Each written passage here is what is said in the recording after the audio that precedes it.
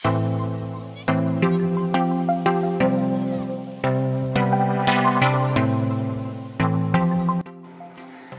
Kumusta? So, ngayon pupunta kami sa ano sa Sevilla. Sa ano siya, sa Spain siya. Tapos naka-impake na ako lahat at saka ready na tapos ano lang magda-drive kami doon mga 2 hours ata papuntang Sevilla. Yeah, 2 hours ata papuntang Sevilla tapos magka-camping kami doon. Ano siya guys, kung nanonood kayo ng ano ng Game of Thrones, doon din sila sa ano one of the um, um, site na ano nag nag-film sila doon sa sa ano sa Sevilla yung High Gardens. Pag nanood kayo ng Game of Thrones, alam niyo yung anong anong sinasabi ko. Yeah, tsaka excited na ako tapos ano lang yung July pa ba or next uh, last last year siguro nung nagplano kaming pumunta dun sa ano sa Sevilla kasi nga wala kaming time. Tsaka nung ano ko nung birthday ko nagplano din kami pumunta doon kasi nga ano wala ding time. Tsaka nung September pumunta kami ng Germany. Tsaka ano ngayon lang ngayon lang talaga ano nag ini-insert lang namin dito sa ano sa schedule namin. Kasi nga ano magsisailing din kami by um, sa December so yeah mga ano lang siguro kami doon mga 4 days lang kami doon update ka na lang kayo mamaya okay see you so ito na yung kina, um, kailangan namin for 4 days guys. So, andyan na yung camping stuff namin, tsaka mga damit, tsaka yan. Yan na yung kailangan namin. Tapos, dito, yeah, yung beddings namin, jacket, oh.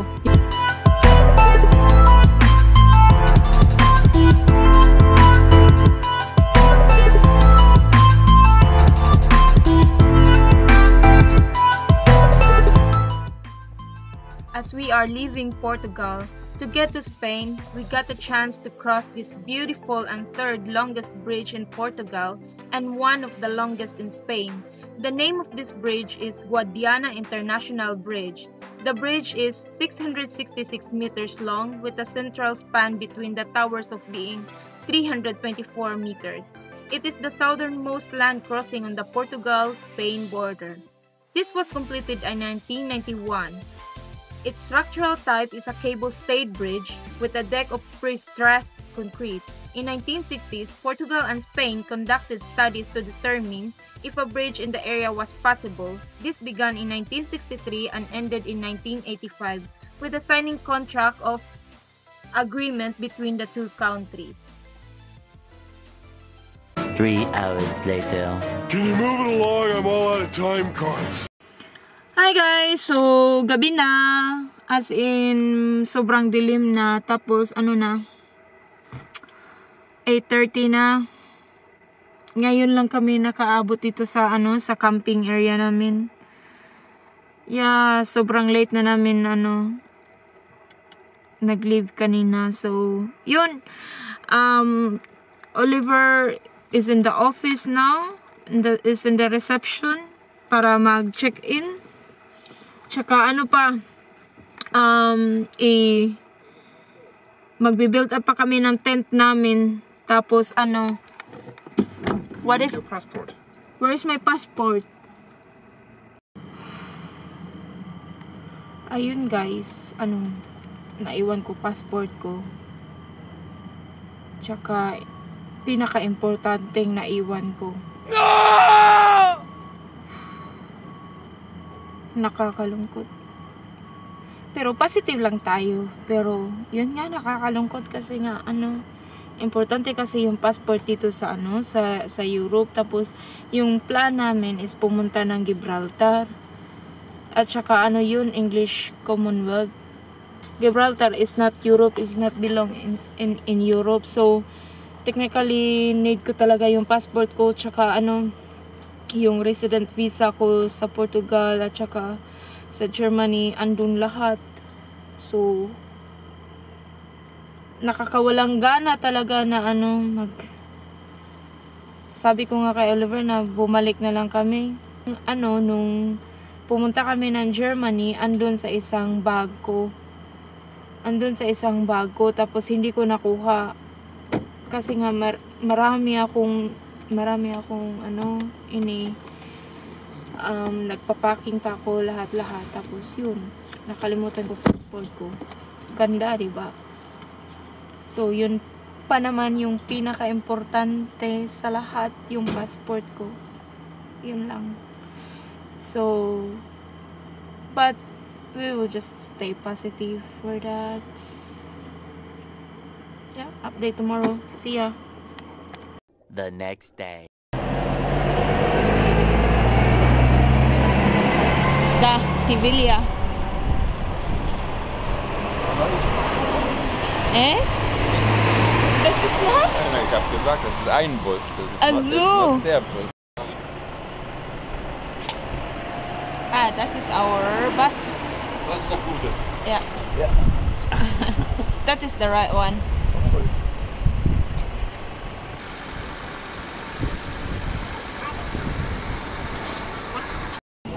So, good morning guys. Andito na kami sa ano sa Buspa Sevilla.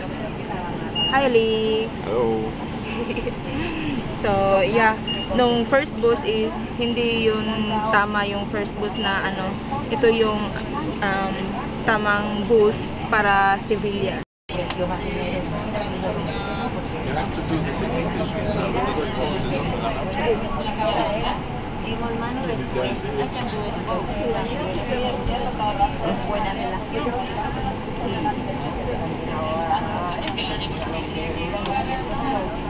So, hey guys, andito na kami sa ano sa Plaza de España. Yung bus, it takes ano 40 almost 45 minutes. So, yun, wala na kaming time masyado kasi pupunta kami sa ano sa Alcazar sa Palace Palace de Alcazar, right? So, and my ano kami my my how do you call that? Um, So guys, yung time slots namin sa Royal Palace Alcazar is at 10:30 a.m. Ngayon, kukuha kami ng breakfast dito ng madalian lang. Tapos yan. So, sit down. Due. Due. Il croissant no, churro. Solo. Sì. Es, E, e quanto minutos, quanto minutos, eh, quanto minutos caminar de aquí Para para Alcazar. A casa caminando 15 minutos. 15 minutos. 15 okay. minutos. So, Gracias. Yeah. so, yun nga, guys, ano, um, dapat madalian lang yung breakfast namin dito kasi nga, ano, may 10.30 appointment kami sa, ano, sa Palace de Alcazar. Doon sila nagpi-film ng, ano, nung, yung Game of Thrones sa season 6. Doon nila pinifilm yung, ano, yung Water Gardens. So, what do we get for breakfast only? It's a churros and, um, what is this? Cacao. Cacao and churros. It's so good, guys. Ito yun. Ito yung breakfast namin, cacao. At saka churros.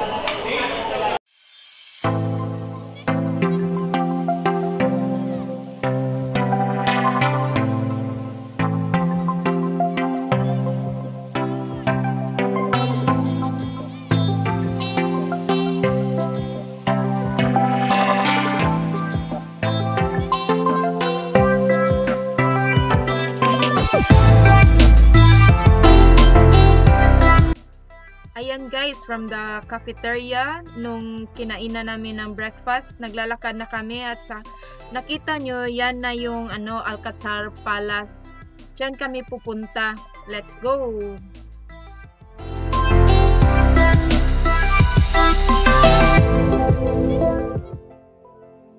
So, oh my God, ang raming tao. Nakita nyo yan?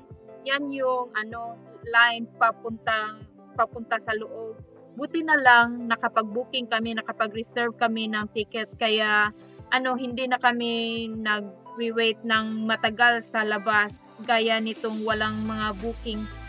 Tsaka nakakainis pag wala kayong reservation ticket. Pag pumunta kayo dito, dapat talaga mag-booking kayo ng ticket. Guys, ito yung entrance ng Palace. Tsaka hindi na kami naghintay na matagal kasi may ticket na kami, nakapag-book na kami na, na- in advance. So, hi guys, nakapasok na kami. Tapos, na, may audio guide kami dito. Tsaka, ito yun dito sa Alcazar.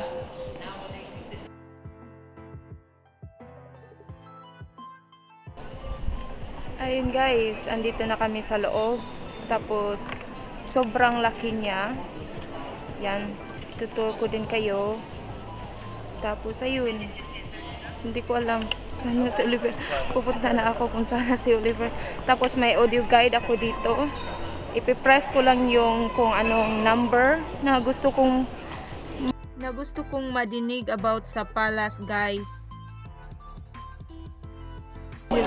So, pupunta na kami dito sa loob ng ano ng Alcazar. Sobrang raming tao dito. Grabe. So, ito ata yung ano dito. Ito ata yung chapel. Tsaka, tingnan nyo yung, yung ano yung bangko nila may ano may royal thing sila. Tapos, yun. Grabe, sobrang ganda. Tingnan nyo. Yun yung ceiling nila. Tapos, ito yun. Dito.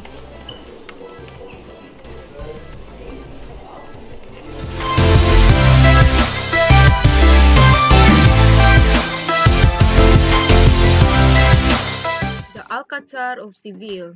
The Alcazar, the of Seville, pronounced uh, in Spanish, Reales Alcazares de Sevilla, or Royal Alcazars of Seville, is a royal palace in Seville, Spain, built for the Christian king Peter of Castile.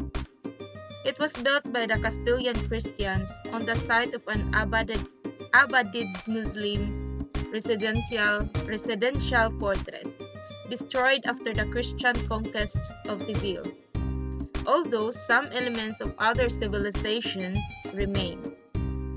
The palace, a preeminent example of Mudihar architecture in the Iberian Peninsula, is renowned as one of the most beautiful. The upper levels of the Alcazar are still used by the royal family as their official residence in Seville and are administered by the Patrimonio Nacional. It is the oldest royal palace still in still used in Europe and was registered in 1987 by UNESCO as a World Heritage Site, along with the adjoining Seville Cathedral and the General Archive of the Indies.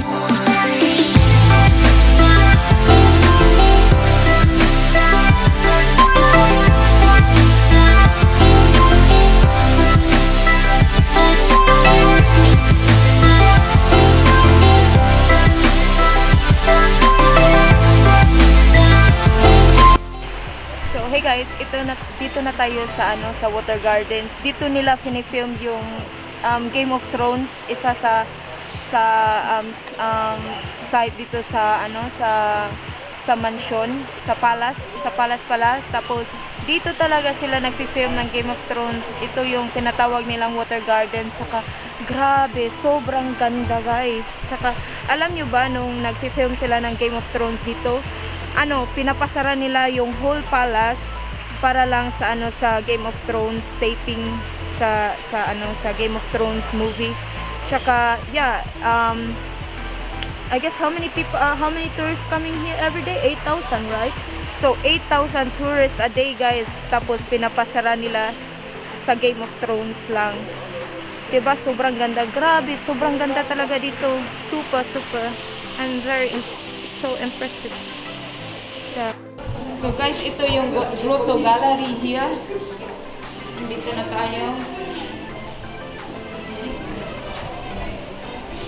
Ah, look at that! There. La, goldfish. Is that goldfish? Grabe, sobrang rami ng goldfish dyan. Dito na tayo ngayon, dito sa ano, sa may Grotto Gallery, tsaka ano, yung, ito yung view dito, sa garden. Grabe, sobrang ganda. Dito na tayo sa balcony. And that is Oliver. Hi! So, yeah.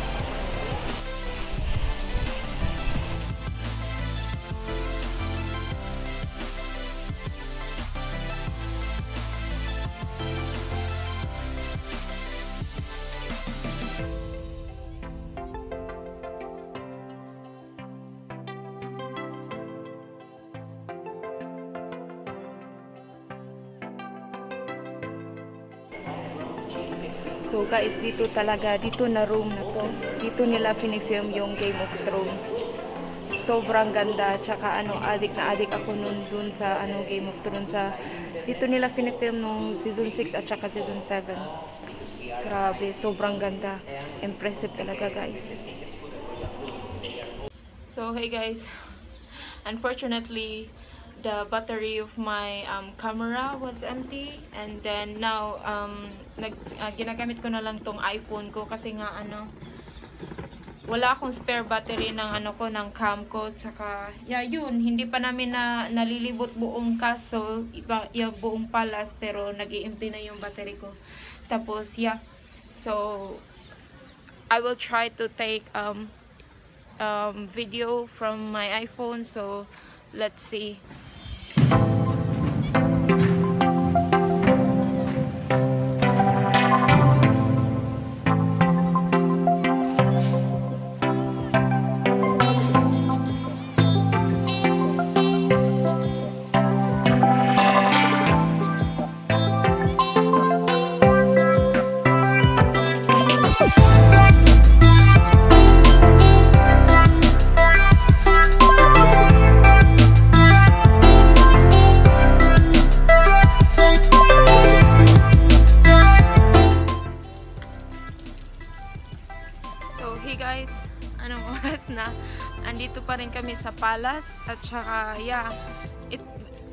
na kami sa ano, sa malaking garden nila. Grabe, sobrang laki. Yeah, sobrang laki at super ganda talaga. Lahat, lahat, lahat. Super, super. Wala akong masabi kundi wow. Wow lang. Kundi wow lang talaga. Grabe. So ngayon naglalakad kami sa ano sa garden nila. Fini-feel namin yung vibes ng palace, guys. Grabe, sobrang ganda dito sa Alcazar. Yeah. Saka sabi ko, 'di ba, sabi ko last na ano um, tourist a day here pumupunta 8,000 high season yon pero ngayon medyo low season na yata. Hindi na high season. So yun. Pero grabe guys um yung ano yung entrance namin. Tsaka eh where is my camera now? So yung entrance namin dito is 1250 euros eh, plus audio guide I guess it's 6 euros yata. So yun pero grabe sulit yung sulit yung pagpunta namin dito at sulit yung pag pag ano pag yung yung entrance fee is sulit talaga. Grabe sa laki ng palace at saka super ganda lahat-lahat paintings style grabe super super super. Yun lang masasabi ko kundi wow and that's it for this royal tour tour of Alcazar Palace guys I'm so sorry guys if I always forgotten to do an ending of my video anyhow as you see this this was our last room museum tour of tiles from the 18th century. Ang sarap makita ng mga ganito. Lahat ng tiles na to guys was handmadely painting. Anyway, if you like this video, please give it a massive thumbs up, share, and if you haven't subscribed, just click the subscribe button and tap the bell. It means a lot to me.